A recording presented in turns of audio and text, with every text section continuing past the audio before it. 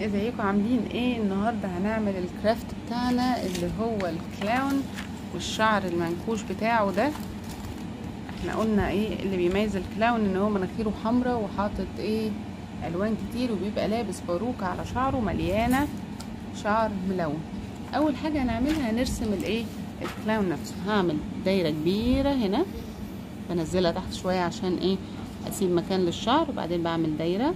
جواها دايره جواها دايره أصغر. أهو. دايرة تانية. دي أنا برسم العين. جواها دايره جواها دايره أصغر منها. وبعدين وبيبقى حاطط زي make up كده فأنا هعمل له الايه الحاجات السوداء اللي بيعملها على عينيه. وبعدين هعمل له مناخيره الكبيرة اللي لونها أحمر. نسيت الحواجب. أهي. وبعدين هعمل البق. نص دايرة. وبعدين أعمل لها نص دايرة أكبر منها ودايرتين برضو بيبقى لونهم أحمر.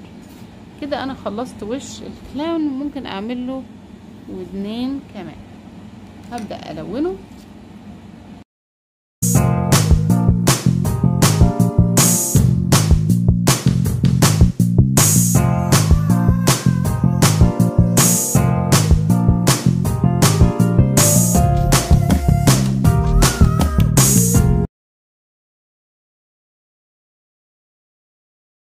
الكلاون بتاعي هبدأ آخد من السكتش الألوان اللي هستخدمها عشان أعمل الإيه؟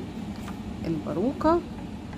لو مثلا هستخدم الألوان دي هاخد جزء منها بقص جزء وببدأ أعمل إيه؟ المروحة. بعمله زي المروحة اللي هو بعمل بتني كده وأقلب وأتني الناحية التانية. وأقلب وأتني وأقلب. أغلبنا بيعرف يعمل مروحة أكيد. أهو. أول حاجة اعملها ال bow اللي هو لابسها أو البوبيون اللي هو بيبقى لابسه وهقص المروحة بتاعتي. زي ما أنتم شايفين أهو ادتني شكل الإيه؟ البوبيون وهاجي آخد من هنا شريطة من أي لون تاني وهحط إيه؟ عليها جلو وهلزقها بالشكل ده بحيث إنها تديني إيه؟ الشكل ده وهلزق الايه وبعدين أحط الجلو من الظهر هنا وألزق البيبيون بتاعته. دلوقتي هعمل الشعر بنفس الطريقة اللي عملت بيها الايه البيبيون بتاعته. هعمل مروحة من أي لون أنا عايزاه. طبعا أنا مختارة كذا لون عندي هنا أصفر orange أحمر ممكن يبقى أخضر ممكن يبقى أزرق زي ما إحنا حابين. هو بيبقى لابس فعلا باروكة مليانة كل الألوان. وهقصقص وهعمل الشريط بتاعها كده. كل واحدة بقصها بيطلع لي إيه؟ زي زجزاج أنا محضرة هنا عندي حبة من الأشكال دي. هبدأ إيه؟ اعمل بيها الويج بتاعته بإني هلزق واحدة واحدة. كل واحدة باجي على طرفها كده وأروح عاملة على خط الشعر بتاعه.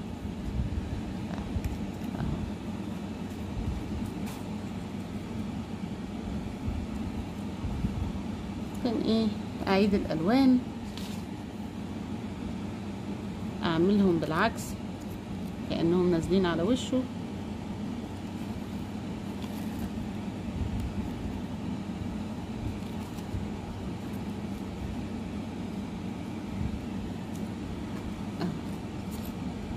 بالشكل ده. ولما يخلص ممكن نضيف لاير تانية بعدها.